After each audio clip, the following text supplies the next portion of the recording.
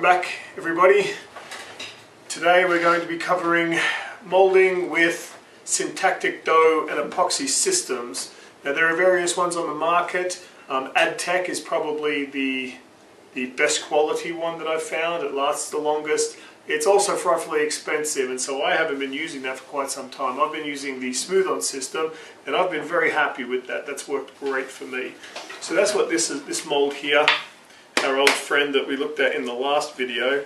That's what this is made out of. It's made out of the uh, um, smooth-on smooth-on system. So there are multiple parts to it. First is the uh, EpoxAcoat grey. There is also EpoxAcoat red. I don't care for the red so much if I'm running foam because it tends to tint the foam. I, I was getting a little bit of, of uh, crossover with the pigment, so I prefer the grey. Uh, Freeform Air is the is the syntactic dough that they produce, and then the EpoxAmite 100 is the laminating resin that I like, and I use the 101 Fast Hardener so that it kicks it off much faster. We're also going to need some stir sticks, some uh, chip brushes of various sizes, some fiberglass mat. I don't like anything too heavy. It, it, it's sort of the loosest that you can find. And then also some finishing cloth, some fiberglass finishing cloth. Again, I like the, the loosest mesh that you can find because all this really does is um, stops the spiky uh, fiberglass um, mat from, from poking your fingers and finishing the, the piece down nicely so that it's it's smooth, it doesn't jab your hands, and, uh, and it looks pretty. It sort of ties it all together. So we've got our old friend here that we, that we did last time. He's ready to mold. So uh, let's get started. So I'm going to use a one inch chip brush. Now we've got all this little detail in here. We've got stuff down in the nostrils there. And uh, the rest of it should be okay. It's mostly these cracks that I'm worried about getting air bubbles in. So we're going to just get some of this and we're going to sort of brush it over here. And then I'm going to use my breath to force it down into all of the detail there.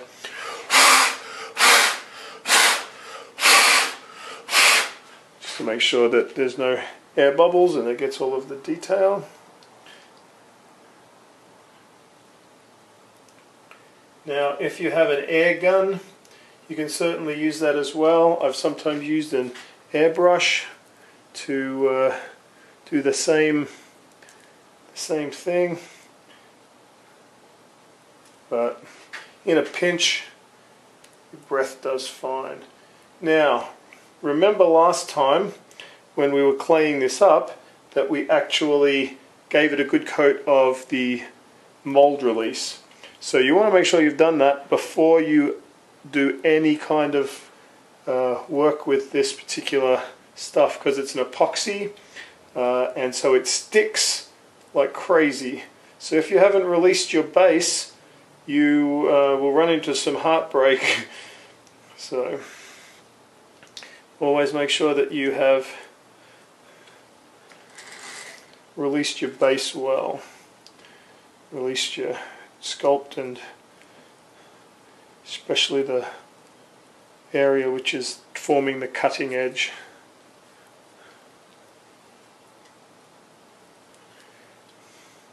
Now you can see that I'm gently putting I'm not like scrubbing it and causing air bubbles and, and stuff.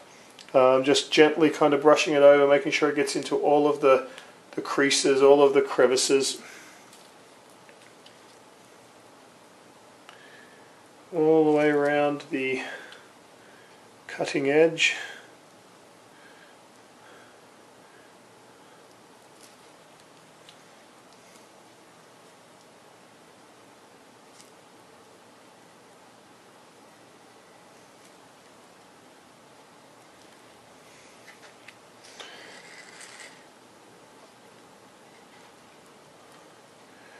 Now the cutting edge area likes to get little air bubbles in there.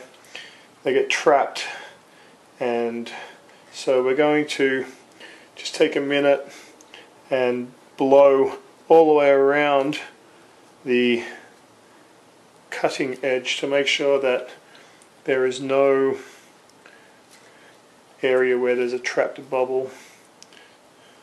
Just want to lay down a little bit along here first. But you can see we've still got quite a bit in here.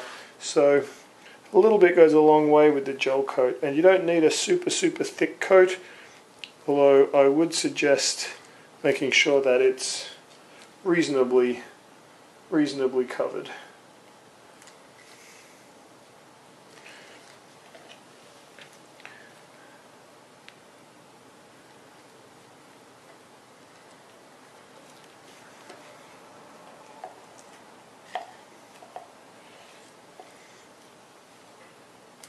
We're going to take that just to the to this edge here. Don't take it over the edge.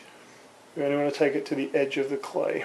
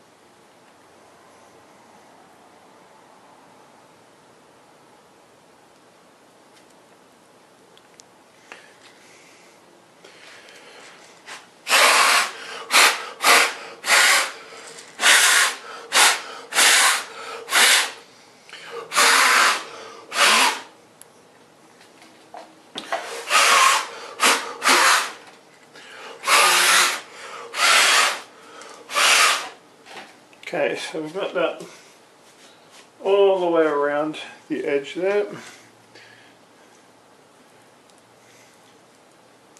Feeling a little light-headed from that. My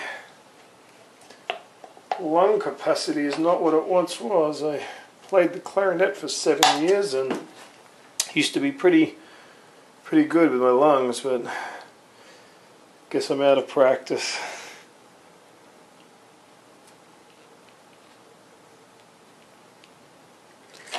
Okay, now we just make sure that anything that was moved still hasn't uh, exposed any of the clay. Oh, we've got a little spot there on the touch point that's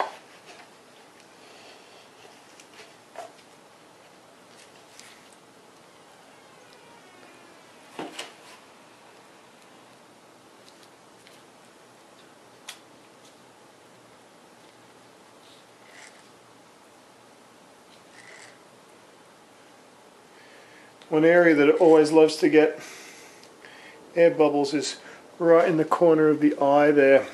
Always, always loves to get air bubbles there. So just really make sure that you've double checked that.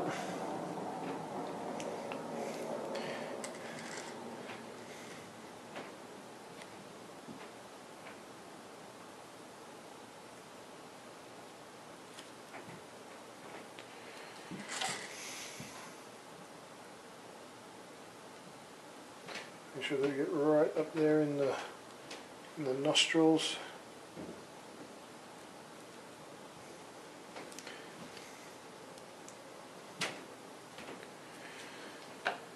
Okay, and I'm going to call that I'm going to call that covered and we'll come back when that's set which usually takes about four hours with the 101 fast hardener and I'll see you then. Our gel coat is fully set. We're ready to go with the syntactic dough. You can see under here that the clay has started cracking and separating from being sitting there. Uh, this is actually a couple of days ago that we did that. I've been tied up doing other stuff so now we're ready to, to get the dough done on that. So that's why I like the, uh, the, the fast hardener, the 101 fast hardener because it uh, kicks a gel coat before it could do that. If you use the normal one, you end up with uh, cracks in your gel coat where the clay separates. So, the syntactic dough we're using is the Freeform Air and it is a one-to-one -one by volume so I just use two of these cups and quite quite simply just uh, kind of pack it in.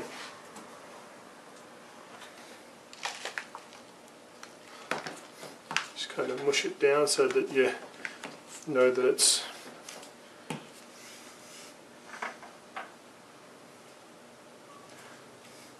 and I found just from my own experience that uh, two of these cups usually are enough to do a, a face like that. Now I only dig in with one hand because uh, you don't want to contaminate your contaminate your product so I really only touch the the white stuff with this one. You can see how it's got the residue on it. This one here is clean. I'm going to dig into the other half with this one. And that way I'm saving gloves as well. But if you don't care then that's fine too.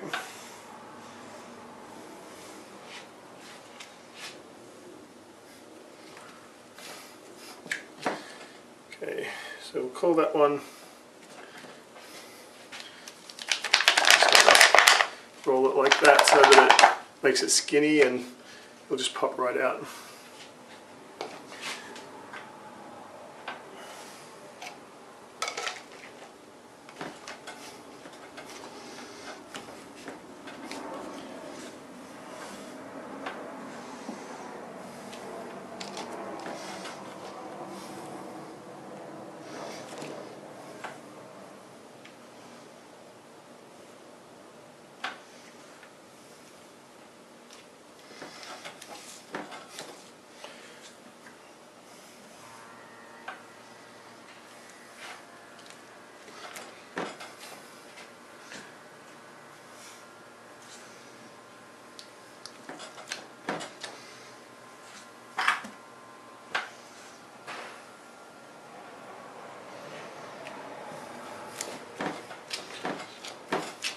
Okay, so we've got two.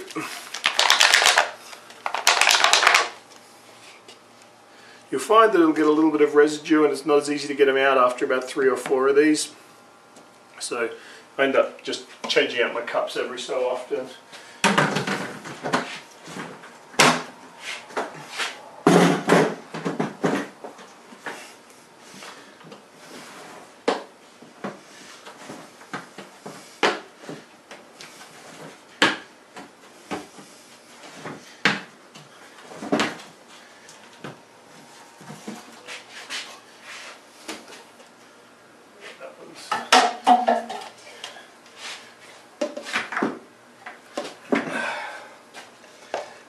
This one's kind of a grey colour. The reason that they do that is so that you can tell when the product is complete is totally mixed. If both were white, then uh, you would not you would be able to tell if there were areas that hadn't been mixed together.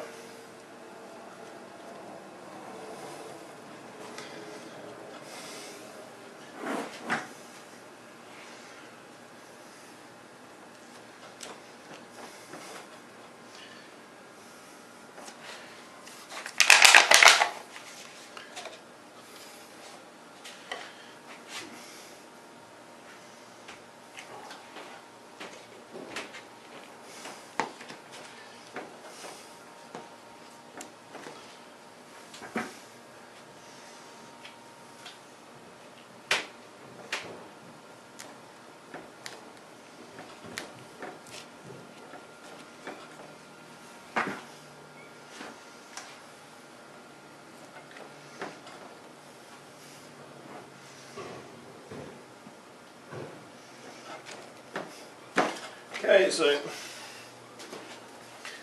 call that call that done.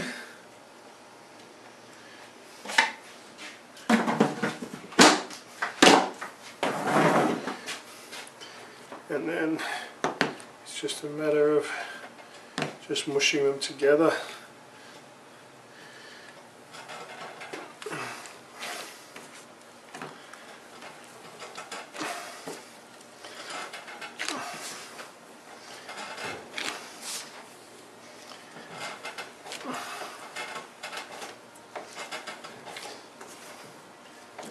Notice it's kind of hard to mix it first because it's uh, not warm. The more you the more you mix it, it'll kind of warm up a little bit.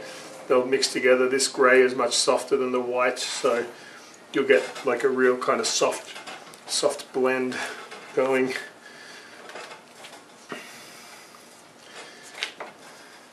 And you want to mix it until there's no marbling at all in the dough you can see right now there's sort of some swirlies and some marbling. You don't want any of that at all. You want it to be all one even light grey colour.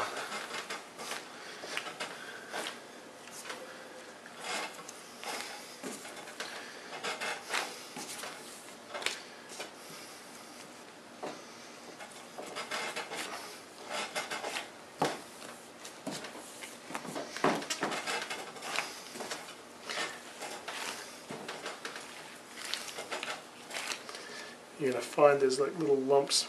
This white, this white one likes to get kind of crusty fast, so try to make sure that you mush up any of these little lumps that you find. Otherwise, you're going to end up with uncured areas in your in your dough, which will undermine the strength of your mold.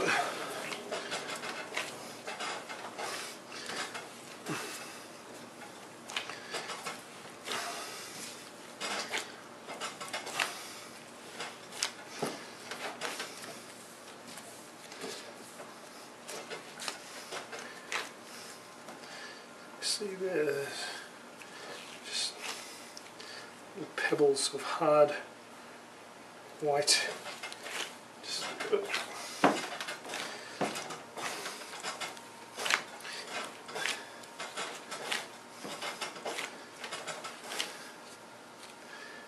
another one.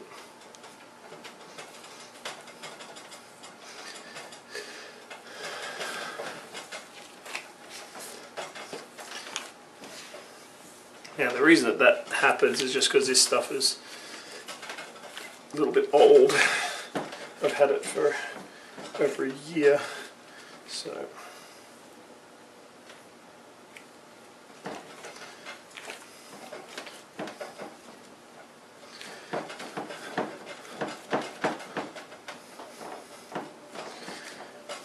Okay, so we're pretty much got rid of all of the marbling. I'm just checking for lumps right now.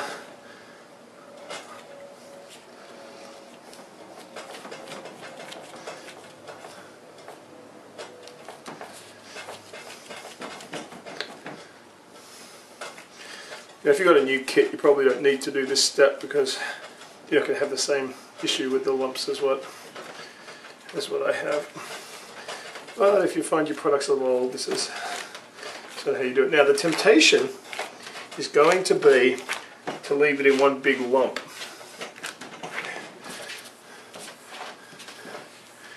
But this material is uh, it's one of those materials where the more that you have together, it kind of builds this this kind of synergistic thing where it it'll kick much faster if it's in a big lump than it is if it's spread out. So you want to kind of just make like a make like a pizza.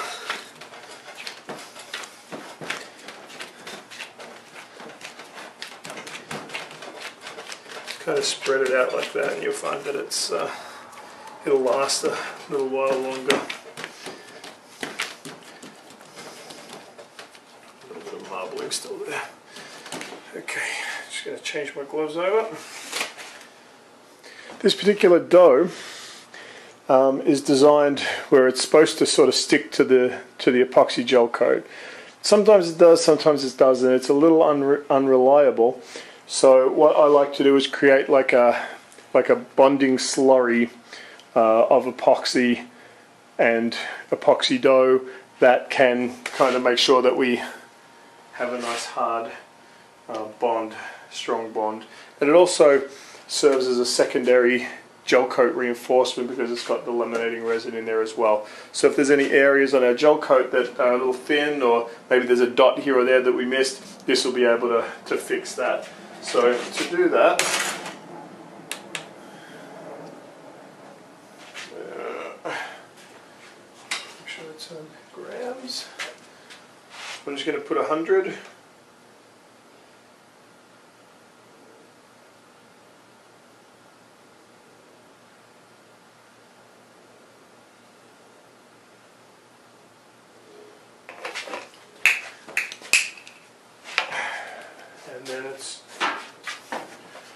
14 at the fast hardener.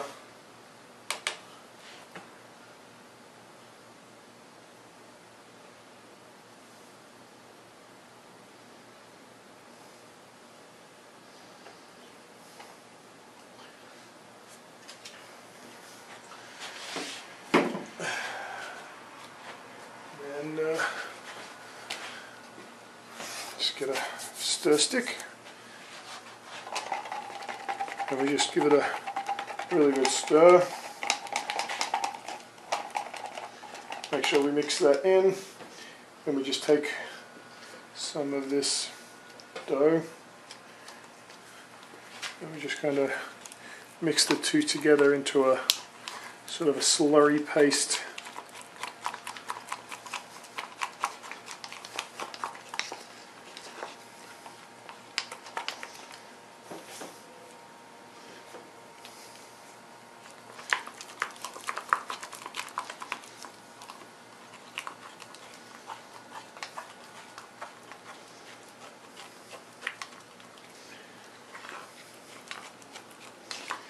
Okay, so it should should end up just being like a fairly smooth smooth paste that's uh, kind of grey. So we're going to take this this slurry. Now, this slurry will also prevent us from having any gaps in our dough. And uh, just going to paint just a, we don't want to go too crazy with it but we want to make sure we get into all of the details. You can go a little harder a little faster because your your gel coat's kind of largely protecting your your sculpt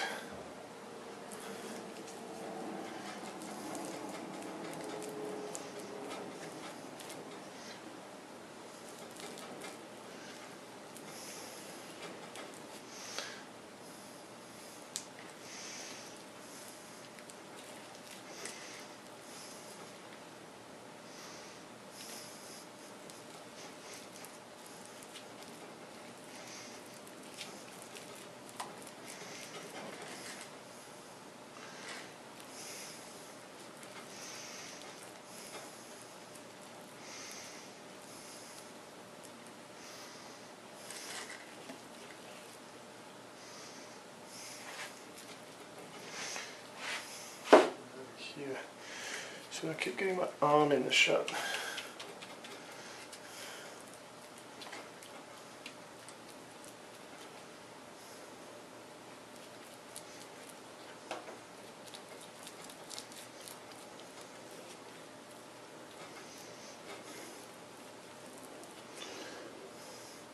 You can see it's not a super thick layer. Just kind of a your basic of light brush on coat. If you do too much it's going to make it really gooey when you start pressing your, your dough into it. So, okay. So that's probably a good amount. So we've got quite a bit left. We probably didn't need to use quite that much. So that's some waste. So, oh well. maybe knock it down to 50 or even 40.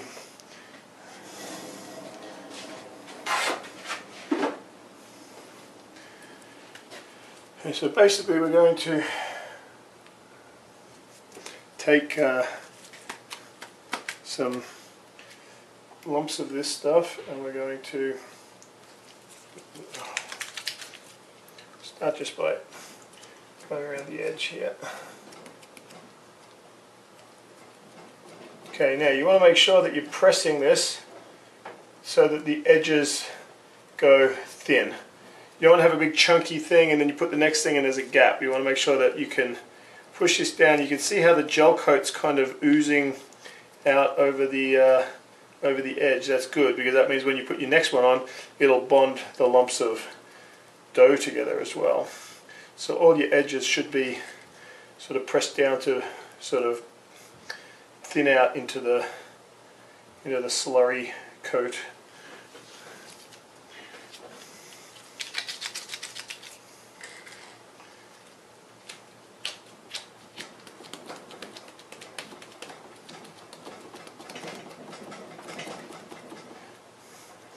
and you can see that, that, pressing the dough down is kind of squeegeeing that uh, slurry coat over the surface of the sculpt or of the gel coat. So it's kind of filling in all of the little details that maybe could have had a small air pocket.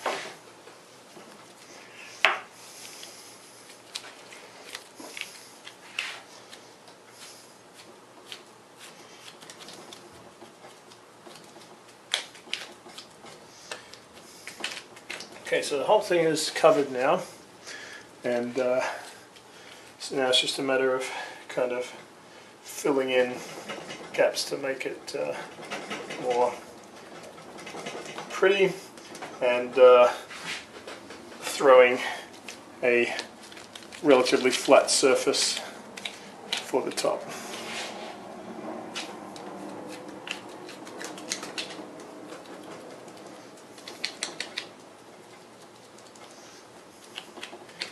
Reason we want the top to be flat is so that when we're running it we can just turn it upside down and it'll sit on the table.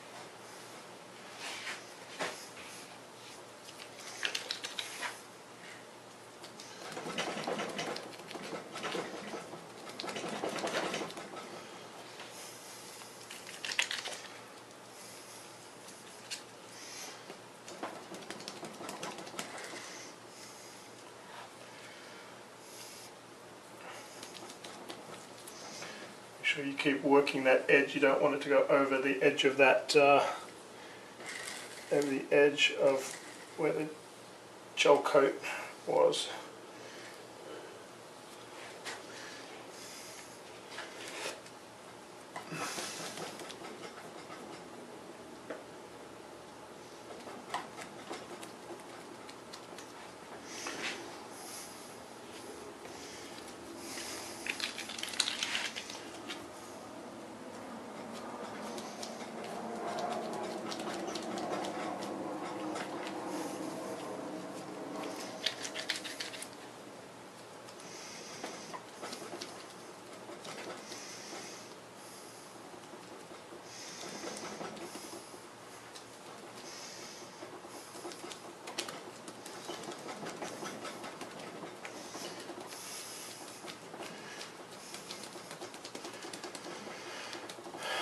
Looking at that, it's looking fairly even.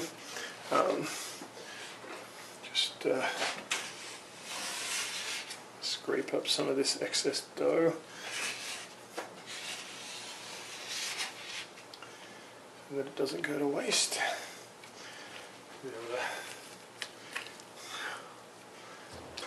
Some in there to even that out. A little bit in there. And that surface is quite lumpy and uh, there's lots of little bits and pieces that are going to be hard to lay our fiberglass into. So what we want to do is we want to finish this down so that it uh, so that it's nice and smooth and much more easy to to lay our our fiberglass mat. Fiberglass mat is is fairly stiff and so when you put it on, it'll just sit right over the top of these highest points. It doesn't conform into all these little ridges and nooks and stuff. So we want to make sure that we that we smooth it out properly. So to smooth this down, as we were talking about with the 1630, uh, every material that we use has a certain has a certain product that will uh, smooth it out, finish it down, for silicone, it's alcohol. For 1630, it's acetone. For dental acrylic, it's acetone. For this epoxy dough, it's actually water. So I've just got a thing of water here. I'm just going to sort of dip in and start uh, start rubbing.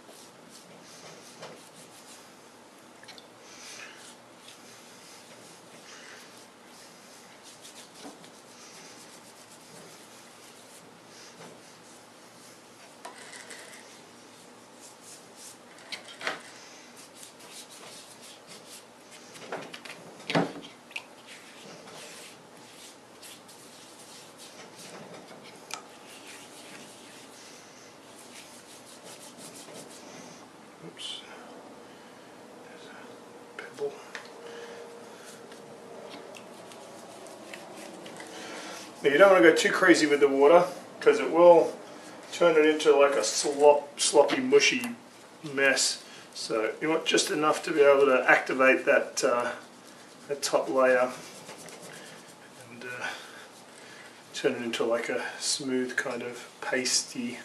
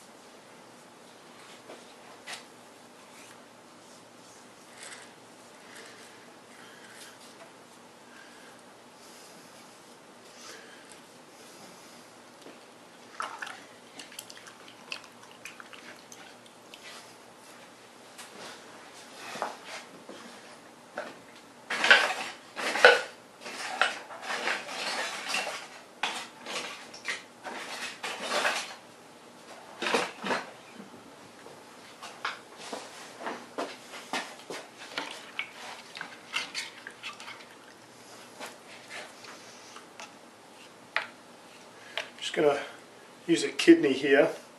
Make sure it's nice and wet if you don't want it to stick to it. And I'm just going to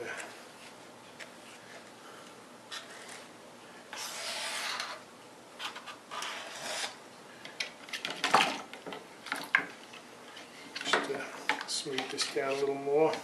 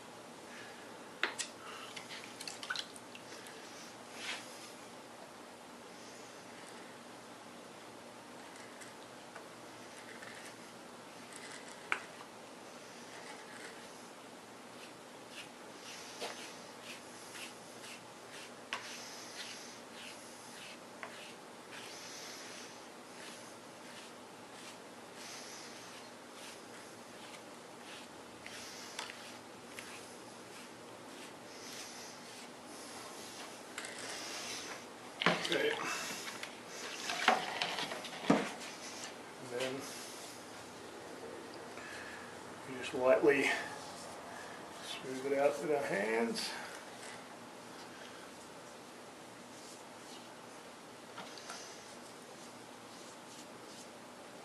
Just get rid of any of those little ridges that were maybe caused by the uh, kidney.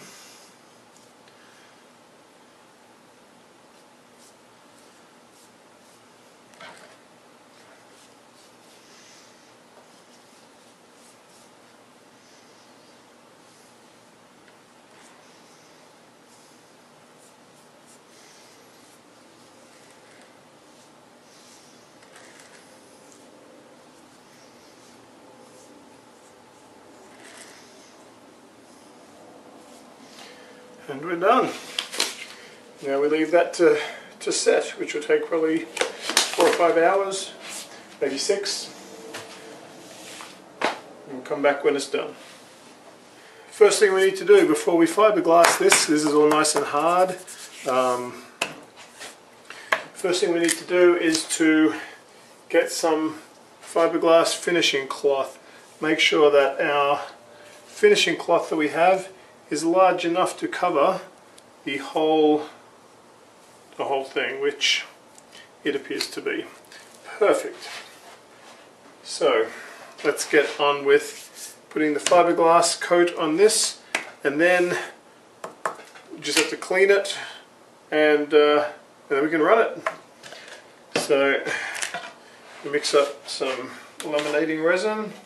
I normally do it at 100 at a time otherwise it can uh, kick faster than you can lay the glass especially if you're starting out. I just find that it's uh, easier easier to do it in batches. And uh, normally takes maybe three three batches. And I think that this is four to one on the laminating resin So put 25. Okay.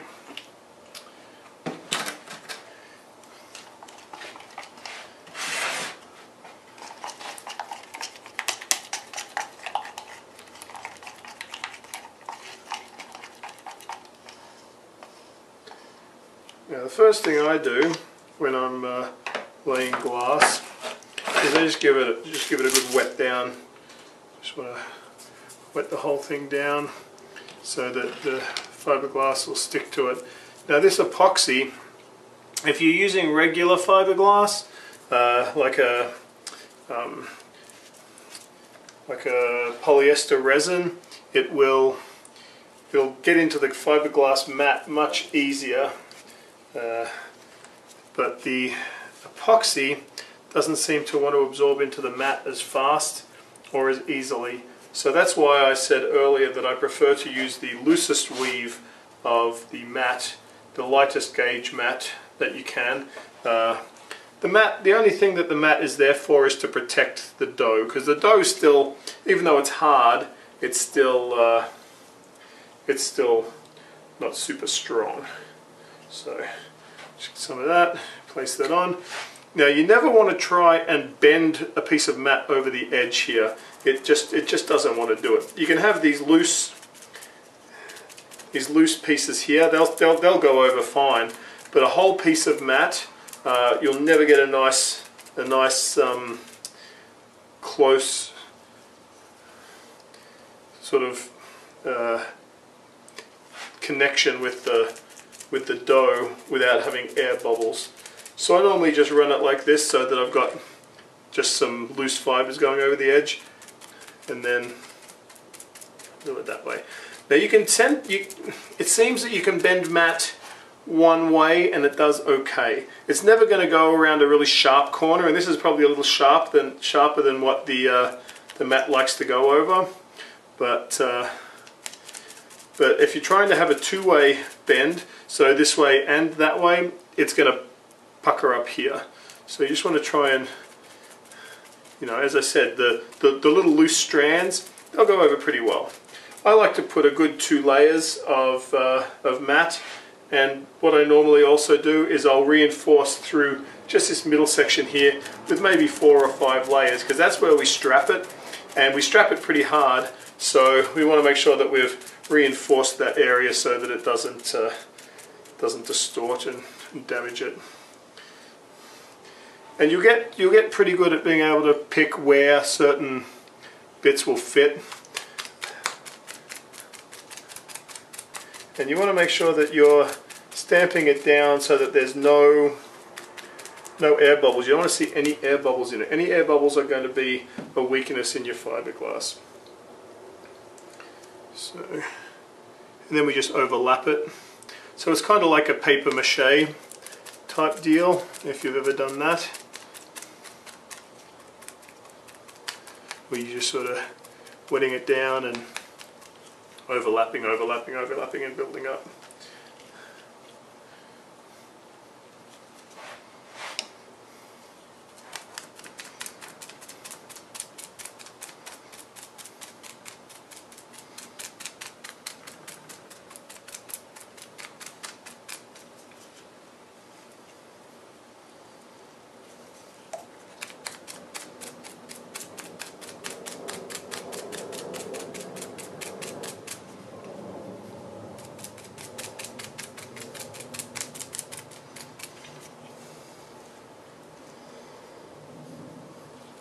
and again just have the little the little individual strands just kind of poking up over that edge and then we can kind of just work them over like that.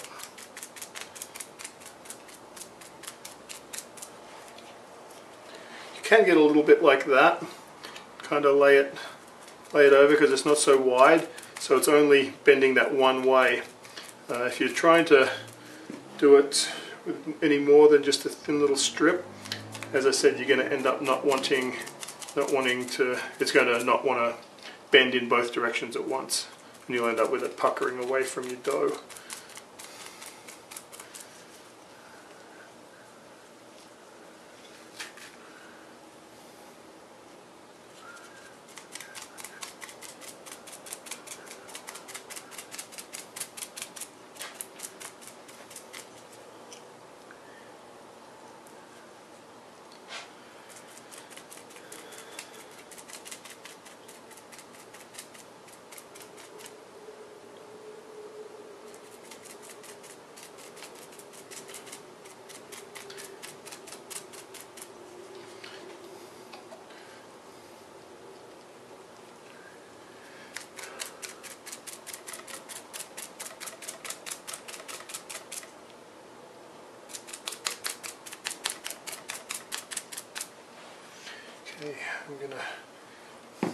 Find a piece that's flat, that's from the edge, just to put right along here.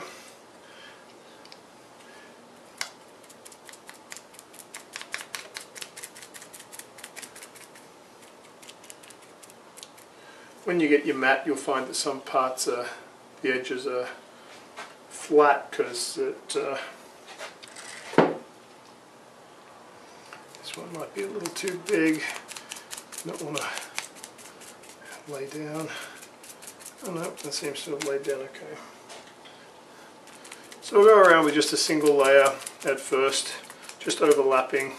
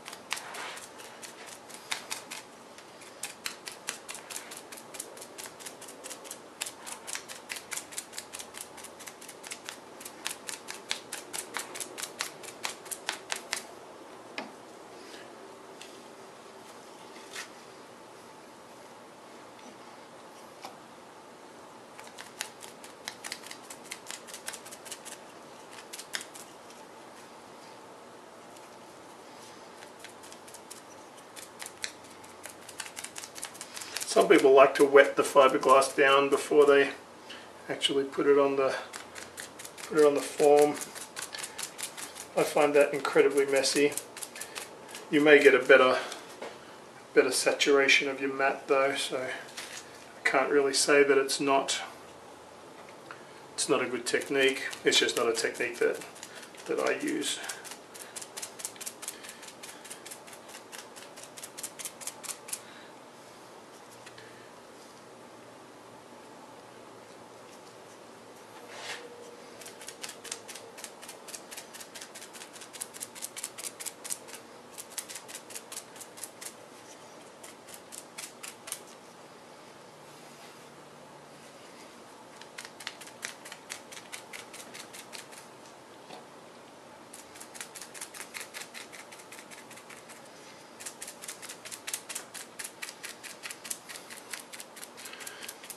Just kind of make sure that you've pushed that mat in all the way around the edge so it should sort of curve under the edge and that'll give you a much nicer much nicer mold.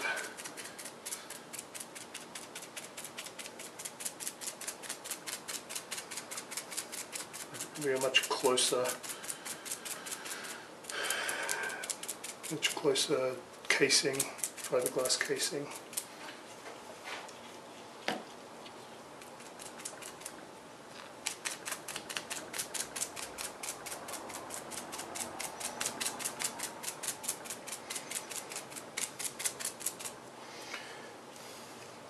You'll find bits that look a little light, so you can just kind of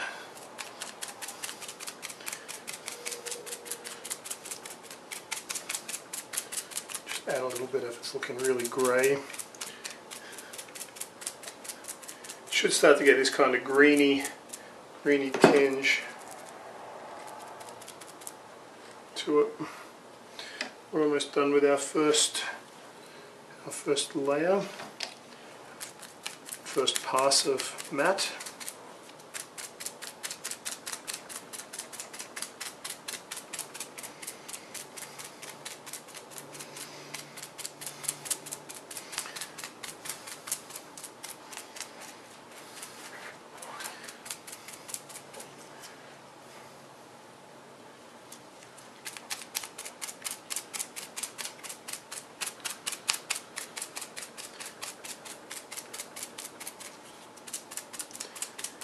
Okay, first pass complete. Almost out of juice, so we'll need to re redo that once we run out. Just going to add a little more reinforcement here on this corner.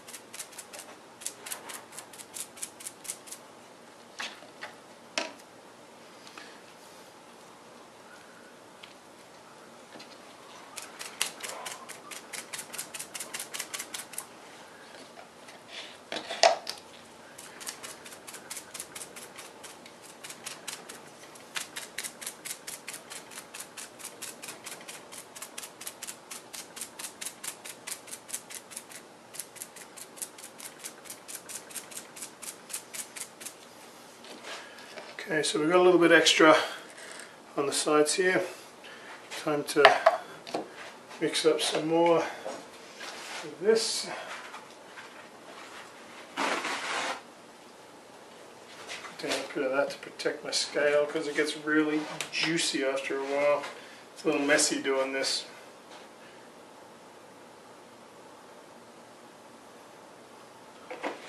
Okay.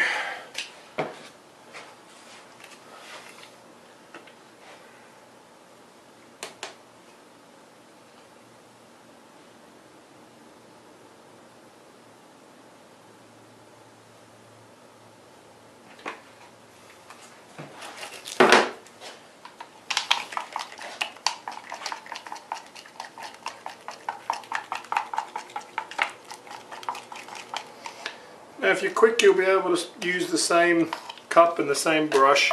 When it starts getting a little stiff and gooey you probably want to change it over. So we'll start I guess down here.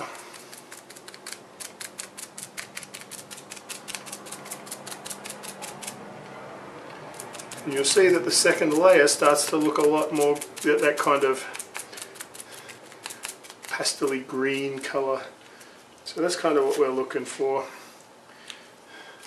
Smaller pieces lay down better than larger pieces unless it's a very flat side. Like this sides are very flat. You can usually do bigger pieces but around the front the top and the bottom it's a little bit more of a curve. You'll like to maybe just break up the pieces. You can just tear them by hand. Some people cut them into squares. I don't like that myself. Uh, that's just personal preference. I like to have the the, the stringy bits hanging off the edge.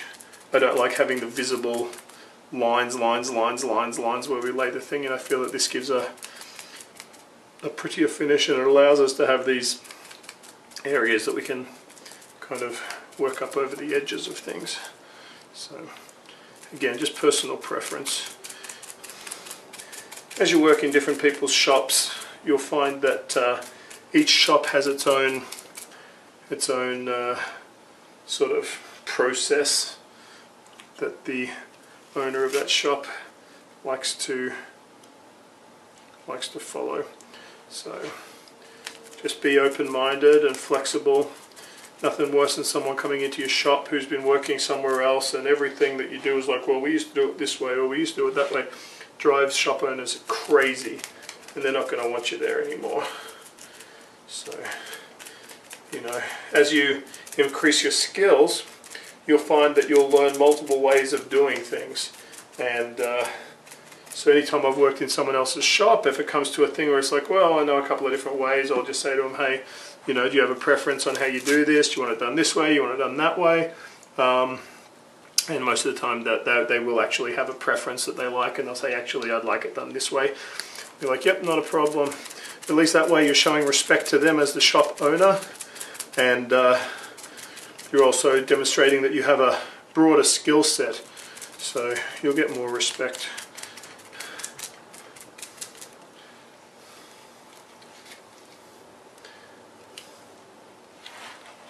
Doesn't really matter how much you know, there's always more you can learn in this field.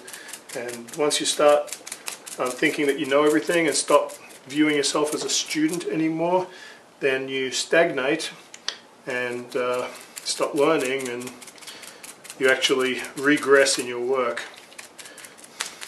So always be humble, always be teachable, always look for anything you can learn uh, in any situation because there's always something you can learn.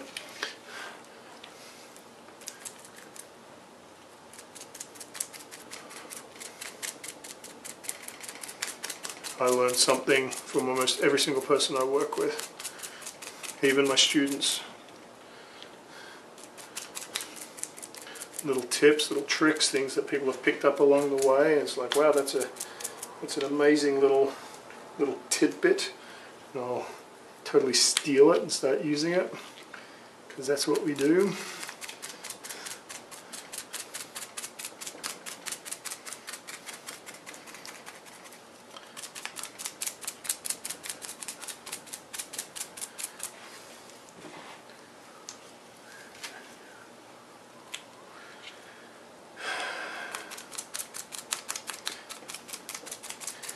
See we're getting a pretty good uh, sort of green tinge going through here, which is nice, that's what we're wanting.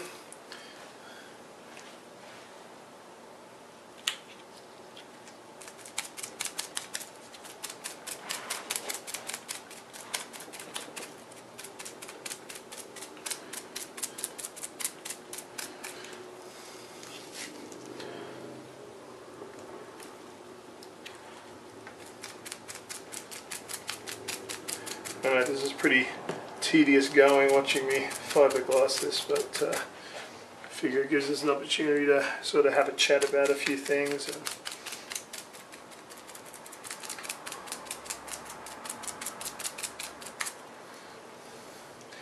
if you've got any questions about any of the stuff in any of these tutorials, you can uh, just post them in the comments underneath and, and I'll answer those. If there's any particular things that you want me to cover, um, then you know I'd like a tutorial on this or I'd like a tutorial on that.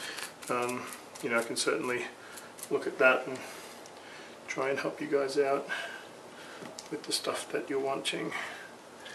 There are some things that I make a living teaching and so I can't just kind of give those courses away because um, I travel all over the place teaching so some things I'll have to sort of leave for those classes but uh,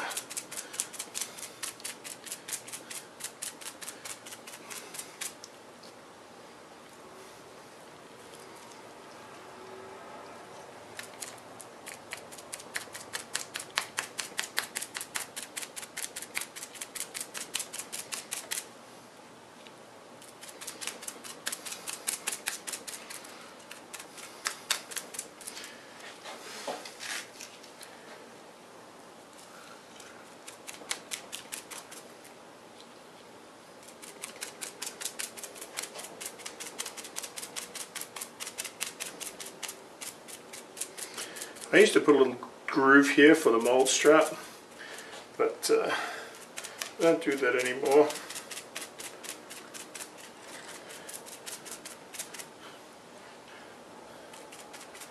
It's very hard to lay lay mat down into it. So you have to tear off tiny little bits and you know just sort of have the, the frayed edges going in and it ended up being more more trouble than it was worth. So I just uh, now I just use some little epoxy putty and put some feet on it, which creates a groove. Picked that up from a video from Stan Winston School. I think Rob Freitas, I think was one of his tutorials I was watching. And as I said, good technique.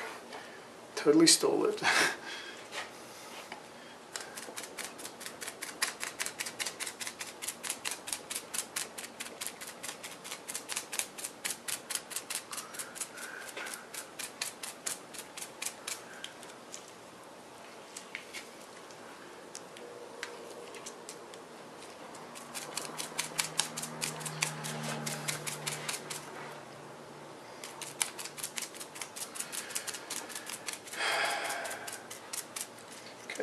we're pretty much good with our second coat. Uh, I might just, there's a couple of little spots that look a little grey.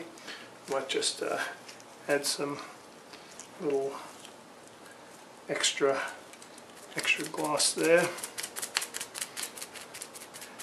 It's always advisable to wear gloves when you're handling fiberglass because uh, it can make your skin kind of itchy.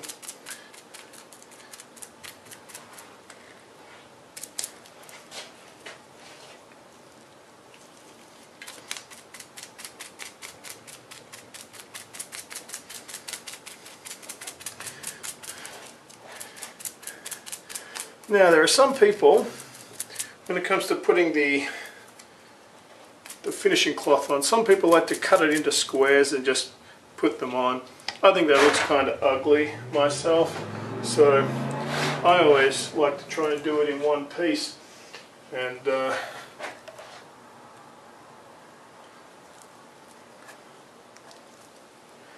sometimes it takes a little doing, but you can kind of stretch it and flatten it and you know it does have a two-way two-way kind of stretch.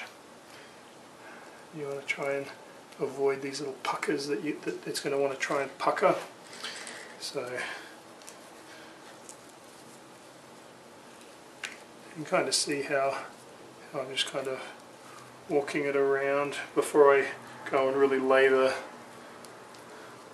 lay the resin in. And you want to tuck it all the way around the edge? There's a little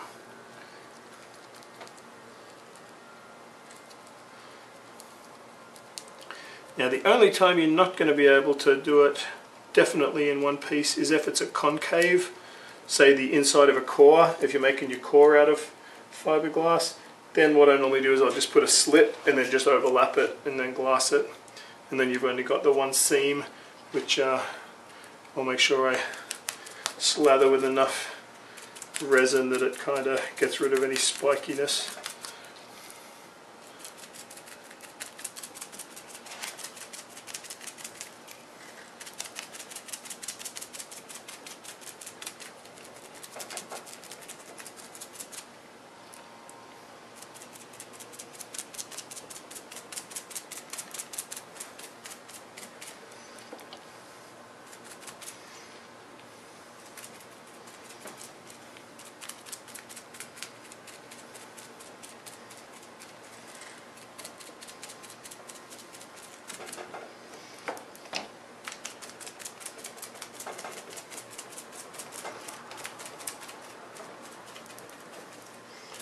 Actually, it's going to want to come out from being tucked under there.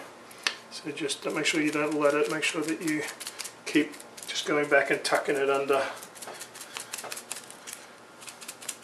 The last thing you want is down here to have your, your dough here and then your fiberglass flaring out and having a gap. You want to tuck it under so it's always in contact with your, with your dough.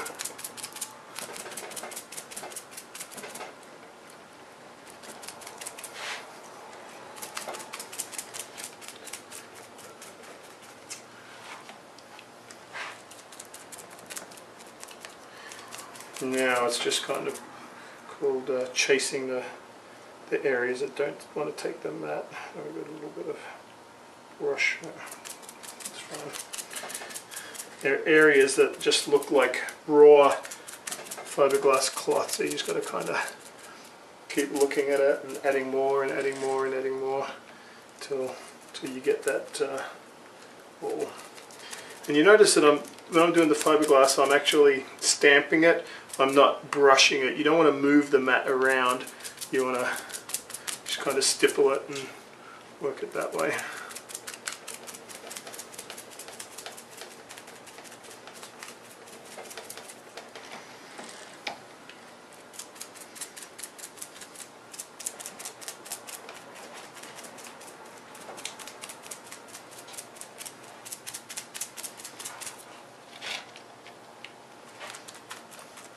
This will take probably about another three or four hours. Again, the uh, molding it with the syntactic dough and fiberglass, it's not a quick process. If you have a really sharp turnaround time, um, that you you know maybe you just need to have it molded and and running within a day. I would maybe check out the tutorial on UltraCal 30, I mean on uh, sorry TC 1630 um, or UltraCal uh, UltraCal, if you only need a few pulls, UltraCal is a good, you know, inexpensive option for you. If you're needing something that you're going to have to pull like 50 to 100 to a couple of hundred pieces out of, um, then you're probably going to want to go with the uh, 1630. So there's a tutorial coming where we actually mold something in 1630. We actually produce this this part of the mold using the the 1630, and uh, that's a it's a very viable option. A little more expensive, but much faster. Okay, so I'm going to call that done. Now that's going to sit there for, I guess, the next four hours, maybe five. When I come back and, and touch it and it's no longer tacky, uh, then we'll come back and I'll show you how to put your feet on and how to clean up the edges of your mold. I'll see you in a bit. Fiberglass is nice and uh, nice and dry at this point, which is great. So let's go ahead and put these put these little feet on. So some of this plumber's epoxy and uh, takes about 20 minutes to set up so it's pretty quick and this will give us a really nice uh, nice even base. I mean although this is pretty nice and it will sit flat it uh, it's not perfect. And it also doesn't leave room for the for the mold strap in case we want to re readjust the mold strap. So just take out some of this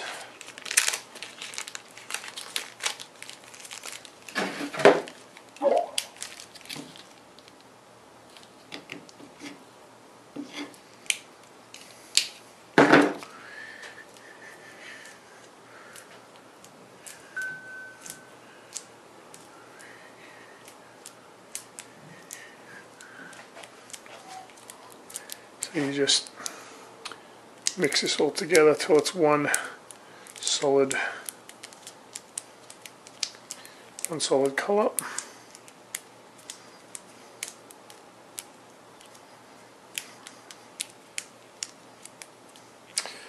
I'm going to take this and uh, I'm going to just give this a nice coat of some mold release. You don't want to get any on your fiberglass because then your your feet won't stick on it.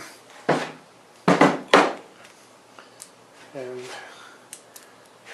that in half, then in half again.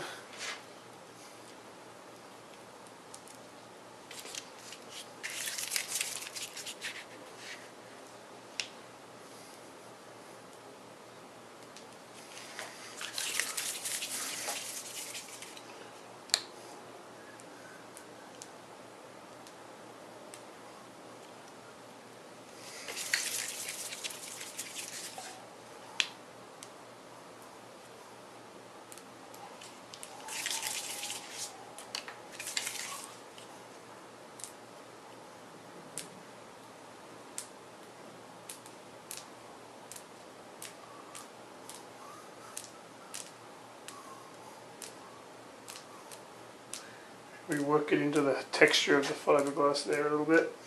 Then we're going to take our released board. We're just going to do that.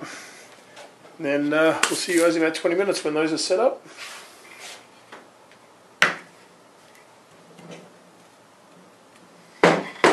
Okay, it's now done. Time to go ahead and remove that from the board.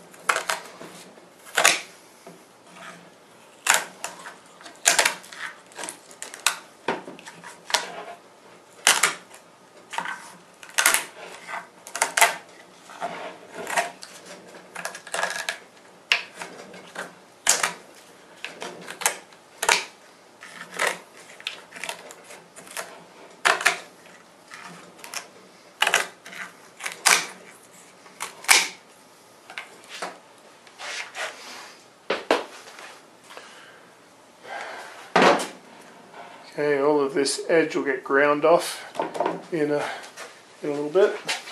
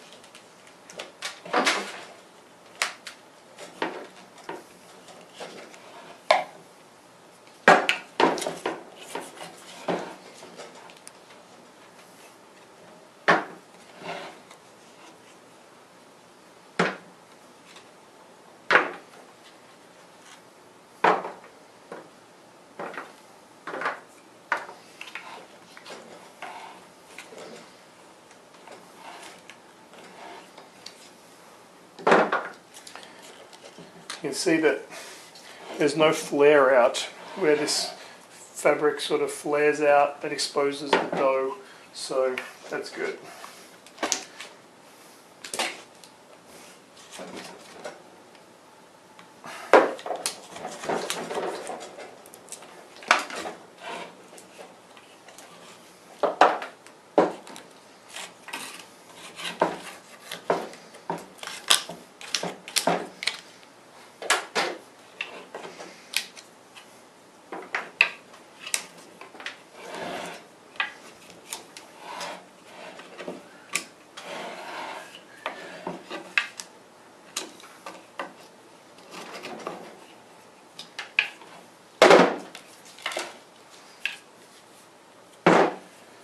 Using a little crane technique, obviously because this still has some uh, these ridges around it, I had to use some shorter bits of wood that would fit in.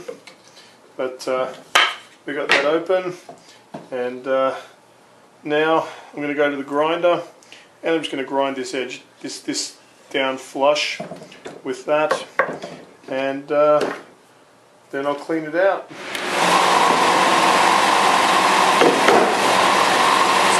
Twigged out. I just got to grind this down and we're done.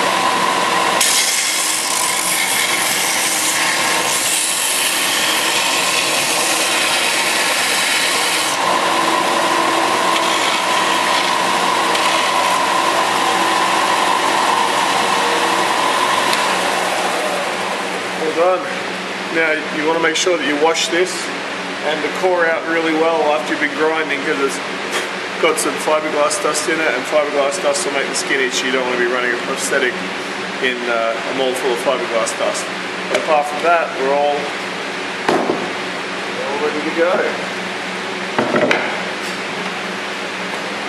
Thanks for watching.